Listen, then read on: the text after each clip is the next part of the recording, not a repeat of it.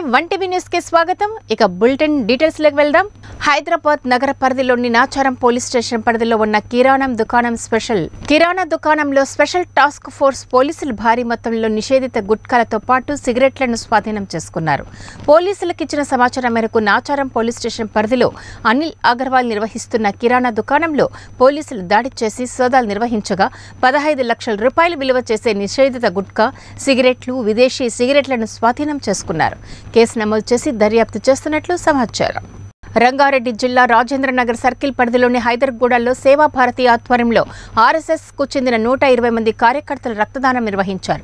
ప్రస్తుత తరుణంలో అనేక మంది రోగులు రక్తం అందక చనిపోతున్నారని అలాంటి పరిస్థితి ఎవరికి రాకూడదనే ఉద్దేశంతో ఈ రక్తదాన శిబిరాన్ని ఏర్పాటు చేసినట్లు తెలిపారు. ముఖ్యంగా యువకులు రక్తదానం నిర్వహించడానికి రావాలని పిలుపునిచ్చారు. కార్యక్రమంలో బీజేపీ నాయకులు సంగీత మల్లారెడ్డి డి విజయ్ కుమార్ తదితరులు పాల్గొన్నారు. ఈరోజు ఆధ్వర్యంలో ఆర్ఎస్ఎస్ ఆధ్వర్యంలో ఇక్కడ హైందవ నగర్లో బ్లడ్ డొనేషన్ క్యాంపు ఏర్పాటు చేయడం జరిగింది.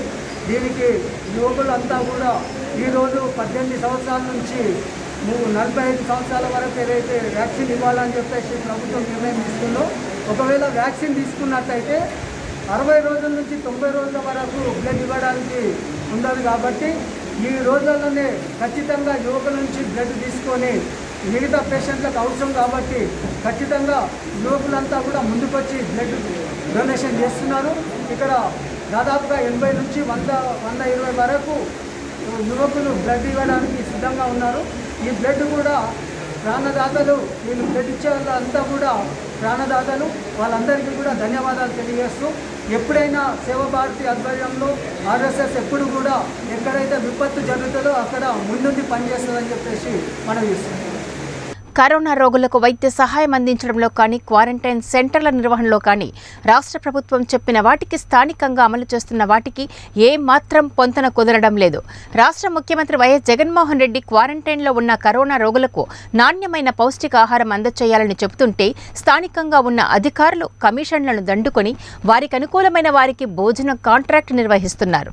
కాంట్రాక్టర్లు కరోనా బాధితులకు నాణ్యమైన భోజనం అందించకపోవడమే కాక సమయ పాలన కూడా పాటించకుండా వారికి ఇష్టమైన సమయంలో భోజనం సరఫరా చేస్తున్నారు. ఈ విషయంపై అధికారులకు ఫిర్యాదులు ఇచ్చినా చూసి చూడనట్లు వ్యవహరిస్తున్నారు అధికారులు. కర్నూలు జిల్లా నంద్యాల ఎస్ఆర్బీసీ క్వారంటైన్ సెంటర్లో మధ్యాహ్నం రెండు గంటలకు దాటిన పేషెంట్లకు భోజనం సరఫరా చేయకపోవడంతో వారు మండు టెండల్లో ప్లేట్లు పట్టుకొని ఎదురు చూడాల్సిన పరిస్థితి ఏర్పడింది. అధికారుల నిర్లక్ష్యంపై బాధితులు తీవ్ర ఆగ్రహం వ్యక్తం చేస్తున్నారు. ఇకనైనా సరైన సమయానికి తమకు ఆహారం అందచేయాలని వారు కోరుతున్నారు.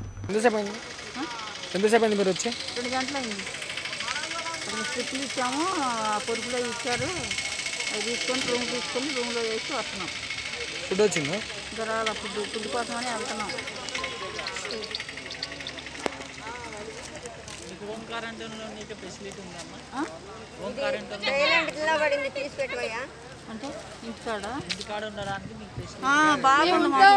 ఇంటికాడ. నేనైతే ఒక్కదాన్ని మా ఇంట్లో ఎవ్వరు లేరు నేను ఇంట్లోనే ఉంటాను.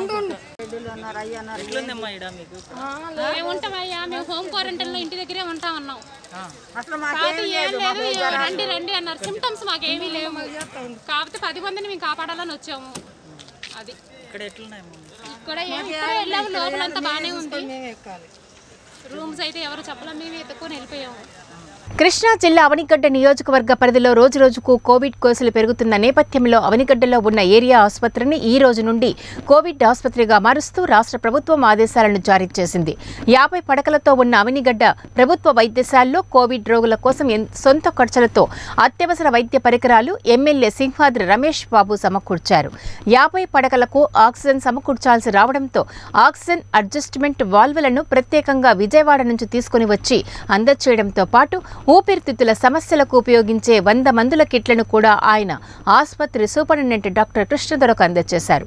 ఆసుపత్రిలో పూర్తి స్థాయిలో ఆక్సిజన్ అందుబాటులో ఉంటుందని కోవిడ్ లక్షణాలతో ఎవరైనా ఆసుపత్రికి వస్తే వారికి మెరుగైన చికిత్స అందజేసేందుకు అన్ని ఏర్పాట్లు చేశామని ఎమ్మెల్యే సింహాద్రి రమేష్ బాబు తెలియజేశారు. ఈ సందర్భంగా ఏరియా ఆసుపత్రి సూపరింటెండెంట్ కృష్ణధర మాట్లాడుతూ పాము కాట్ల విషయంలో ఒక్క మరణం కూడా లేకుండా అవనిగడ్డ ఏరియా ఆసుపత్రికి రాష్ట్రంలోనే గుర్తింపు తెచ్చామని అదేవిధంగా కోవిడ్ వైద్య సేవల విషయంలో కూడా ఇదే తరహాల్లో వైద్య సేవలు అందిస్తామని తెలిపారు. మరి మన దివిసీమ ప్రాంతానికి ఈ రోజు నుండి మరి గౌరవనీయులైనటువంటి మన ఎమ్మెల్యే గారు సింహాద్రి రమేష్ గారు వాళ్ళ నేతృత్వంలో అసలు ఎమర్జెన్సీగా ఇక్కడ కోవిడ్ సెంటర్ కావాలని ఎంతో శ్రమపడి ఆయన సొంత ఖర్చులతో పెట్టి ఇమీడియట్గా ప్రారంభించారు.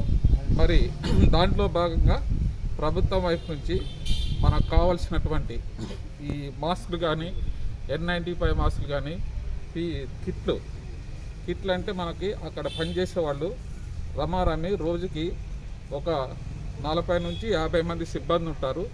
వాళ్ళకి పీపీఈ కిట్లు కూడా ప్రభుత్వం సప్లై చేస్తుంది. అదేవిధంగా పేషెంట్లకు కావాల్సినటువంటి మెడిసిన్స్ అన్నీ కూడా మన కోవిడ్ సెంటర్ నుంచే సప్లై చేస్తున్నారు.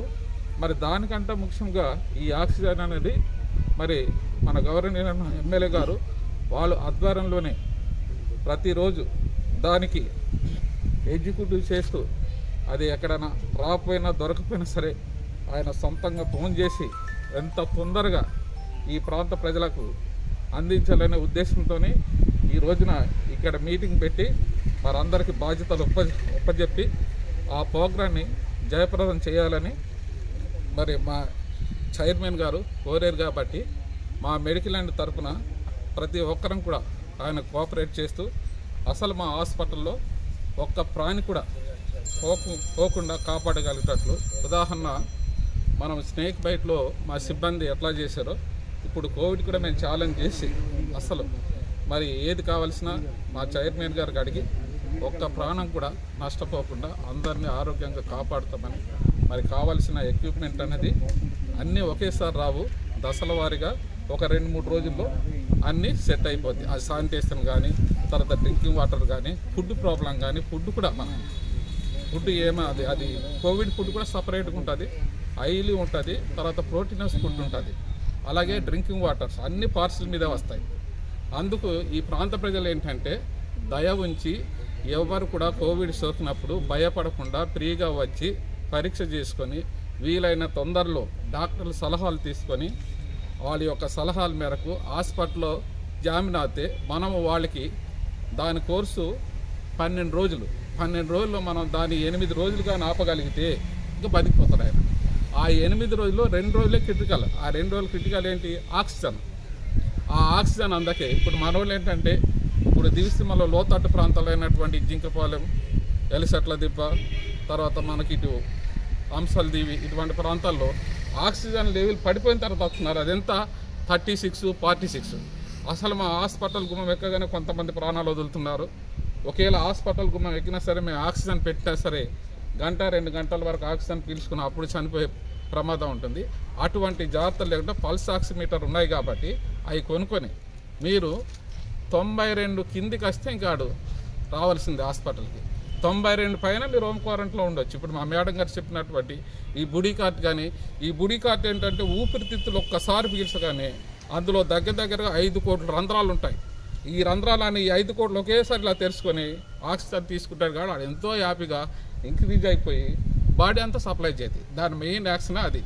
అందుకని అది ఉపశమనాలు వాడొచ్చు కరోనాలో ఉన్న వాడొచ్చు ఎనీ ఇంప్లమేటరీ డిసీజ్ ఇది లంగ్ ఉన్న వాళ్ళు వాడొచ్చు. ఆ ఇంప్లమేటరీ డిసీజ్ ఉన్నప్పుడు ఆ సిఆర్పి కూడా దానివల్లే రైజ్ అవుద్ది. ఇవన్నీ వాడితే సిఆర్పి కూడా తగ్గుద్ది. ఓన్లీ ఇది ఇంప్లమేషన్ తగ్గిస్తుంది కాబట్టి ఈ మందుల గురించి మేము విచ్చలవిడిగా చెప్తే మాకంటే ముందు ఆర్ఎంపీలే స్టార్ట్ చేస్తున్నారు వాళ్ళు. ఇప్పుడు మందుల గురించి నేను క్లియర్గా చెప్పాను అనుకోండి వాళ్ళే రాసేస్తున్నారు అందుకని మీరు ఏం భయపడక్కర్లేదు. ఫుడ్ తర్వాత మందులు వసతి అన్నీ మా చైర్మన్ గారు దగ్గరుండి ఆయన సొంత ఖర్చులతో ఇప్పుడు ఈ పెట్టుకున్న ఖర్చులను కూడా ప్రభుత్వం నుంచి వచ్చి నిధులు లేవు. ఆయన సొంత ఖర్చులను పెట్టుకున్నారు. అది జనాలకు తెలియదు కదా. ఈ సభాముఖంగా నేను చెప్తున్నాను. మరి ఈ స- ఈ చక్కని అవకాశాన్ని ప్రతి ఒక్కరు కూడా సద్వినియోగం చేసుకొని వాళ్ళందరూ మన దివిసీమలో ఉన్న ప్రజానిక అందరూ ఆరోగ్యంగా ఉండి మన దివిసీమని అభివృద్ధి చెందుతారని మన అనే కంప్లైంట్స్తో కూడా వస్తున్నారు. వాళ్ళు ఈ ఇన్హేలర్ వాడితే ఖచ్చితంగా ఇంప్రూవ్మెంట్ కనిపిస్తుందండి. ఆల్రెడీ ఆక్సిజన్ మీద ఉన్న వాళ్ళకు కూడా అవసరం బట్టి రోజుకు ఆరు సార్లు కూడా మనం ఈ ఇన్హేలర్స్ ఇవ్వాల్సి వస్తుంది. ఈవెన్ సాచురేషన్ సిక్స్టీలో ఉన్న వాళ్ళకైనా వెంటిలేటర్ మీద ఉన్న వాళ్ళకైనా సరే మోస్ట్లీ సిక్స్ టైమ్స్ ఇస్తాం.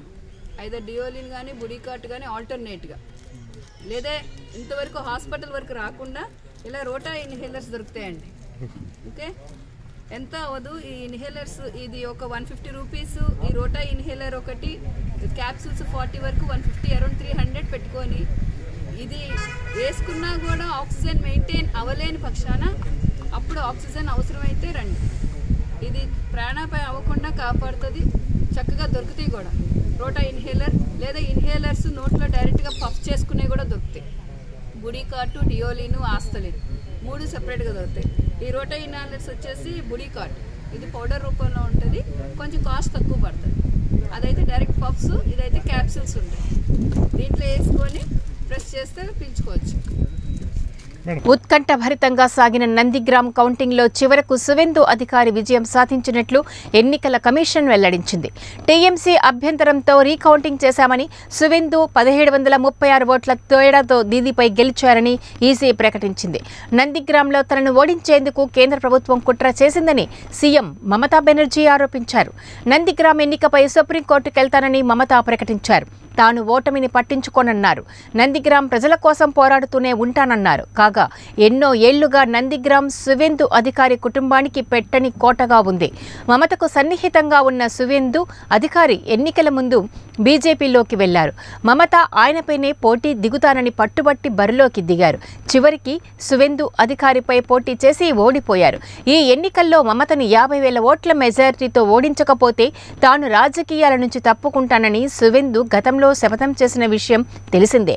మరోవైపు మొత్తం రెండు వందల తొంభై నాలుగు స్థానాలకు గాను రెండు వందల పదహైదు స్థానాల్లో ఘన విజయం సాధించింది టీఎంసీ. ఈ ఎన్నికల్లో ఎలాగైనా గెలిచి అధికారం చేజిక్కించుకోవాలనుకున్న బీజేపీ కేవలం డెబ్బై ఆరు స్థానాల్లో మాత్రమే విజయం సాధించింది. దీంతో ముచ్చటగా మూడోసారి సీఎం పగ్గాలు చేపట్టనున్నారు మమతా బెనర్జీ. దేశవ్యాప్తంగా అందరి దృష్టిని ఆకర్షించిన సుదీర్ఘ ఎన్నికలు ముగిశాయి. ఫలితాలు వచ్చేశాయి. కేంద్రంలో అధికారంలో ఉన్న భారతీయ జనతా పార్టీకి సవాలుగా మారాయి. వెస్ట్ బెంగాల్లో తన రాజకీయ శత్రువు మమతా బెనర్జీని ఓడించడం ఇటు దక్షిణాదిన ఎలాగైనా పార్టీ పరిస్థితిని మెరుగుపరుచుకోవడం లక్ష్యాలుగా బీజేపీ ఎన్నికల బరిలో దిగింది. ఈ నేపథ్యంలో ఎన్నికలు అన్ని రాష్ట్రాల్లోనూ నువ్వానేనా అన్నట్టుగా సాగాయి. ఈ ఎన్నికల నేపథ్యంలో పలు సంస్థలు ఓటర్ల నాడిని ఒడిసిపట్టడానికి ప్రయత్నం చేశాయి. ఈ క్రమంలో ఎగ్జిట్ పోల్స్ నిర్వహించిన ఆ సంస్థలు ఫలితాలకు రెండు రోజుల ముందు తమ అంచనాలను వెల్లడించాయి. మరి ఆయా సంస్థలు చెప్పినట్లుగా జరిగిందా? బెంగాల్లో ప్రజల నాడిని పసిగట్టడంలో సర్వే సంస్థలు ఘోరంగా విఫలమయ్యాయి. మొదటి నుంచి ఇక్కడ ఎన్నికలు టీఎంసీ బీజేపీ మధ్య హోరాహోరీగా జరుగుతాయని అందరూ అంచనా వేశారు. అందుకు తగ్గట్టుగానే ఎగ్జిట్ పోల్స్ ఫలితాలు కూడా వెలువడ్డాయి. తృణమూల్ కాంగ్రెస్ పార్టీ గెలవడం వరకు ఖాయమే కానీ మ్యాజిక్ ఫిగర్ కంటే ఎక్కువ స్థానాలు వచ్చే అవకాశం లేదని దాదాపు అన్ని ఎగ్జిట్ పోల్ ఫలితాలు చెప్పాయి. కానీ రెండు వందల పదహైదు స్థానాలతో ఏకపక్ష విజయం సాధించింది మమతా బెనర్జీ. మమతా బెనర్జీ సారథ్యంలోని టీఎంసీ. ఇక తన పార్టీని ఘన విజయం వైపు నడిపించిన మమతా బెనర్జీ తానే స్వయంగా నందిగ్రామ్లో ఓటమి పాలవడం విశేషం. అత్యధిక సర్వేలు డిఎంకే ఘన విజయం సాధిస్తుందని చెప్పాయి. కానీ ఆ పార్టీకి పోటాపోటీ మెజార్టీని దక్కింది ఎగ్జిట్ పోల్స్ అన్ని డిఎంకేకు నూట అరవై నుంచి నూట తొంభై స్థానాలు వస్తాయని చెప్పాయి. అయితే నూట ముప్పై ఒక్క చోట్లే విజయం దక్కింది ఆ పార్టీకి.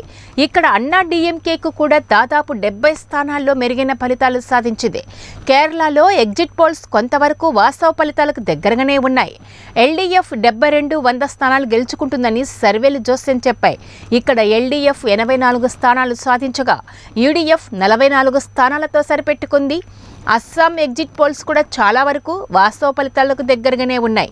అస్సాంలో బీజేపీ కూటమి అరవై రెండు నుండి ఎనభై స్థానాలు సాధిస్తుందని చాలా వరకు ఎగ్జిట్ పోల్స్ చెప్పాయి. ఇక్కడ బీజేపీ కూటమి డెబ్బై ఒక్క స్థానాల్లో విజయం సాధించగా కాంగ్రెస్ కూటమి నలభై ఆరు స్థానాలను సాధించింది. పుదుచ్చేరిలో ఎన్డీఏ స్పష్టమైన విజయం సాధిస్తుందని ఎగ్జిట్ పోల్స్ చెప్పాయి. కానీ మొత్తం ముప్పై స్థానాలకు గాను అతి కష్టం మీద పదహారు స్థానాలతో మెజార్టీ మార్కుకు ఎన్డీఏ కూటమి చేరుకోగలిగింది.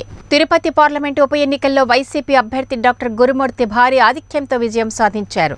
టీడీపీ అభ్యర్థి పనబాక లక్ష్మిపై రెండు లక్షల డెబ్బై ఒక్క వేల తొమ్మిది వందల ఐదు వందల తొంభై రెండు ఓట్ల మెజార్టీతో గురుమూర్తి గెలిచారు. వైసీపీ అభ్యర్థి గురుమూర్తికి ఆరు లక్షల ఇరవై ఐదు వేల ఎనిమిది వందల ఇరవై ఓట్లు టీడీపీ అభ్యర్థి పనబాక లక్ష్మికి మూడు లక్షల యాభై నాలుగు వేల రెండు వందల యాభై మూడు ఓట్ల రాగా బీజేపీ అభ్యర్థి రత్నప్రభకు యాభై ఏడు వేల డెబ్బై ఓట్లు వచ్చాయి. లెక్కింపు ప్రారంభమైనప్పటి నుంచి గురుమూర్తి ఆధిక్యంలోనే కొనసాగారు. అన్ని రౌండ్లు పూర్తయ్యేసరికి భారీ మెజార్టీతో పనబాకపై గురుమూర్తి గెలుపొందారు. ఈ తాజా విజయంతో వైసీపీ అభ్యర్థి గురుమూర్తి అనుచరులు వైసీపీ కార్యకర్తలు స్థానిక నేతలు సంబరాలు జరుపుకున్నారు. ఇవి ఇప్పటి బులెటిన్ డీటెయిల్స్. నెక్స్ట్ బులెటిన్లో మళ్ళీ కలుద్దాం.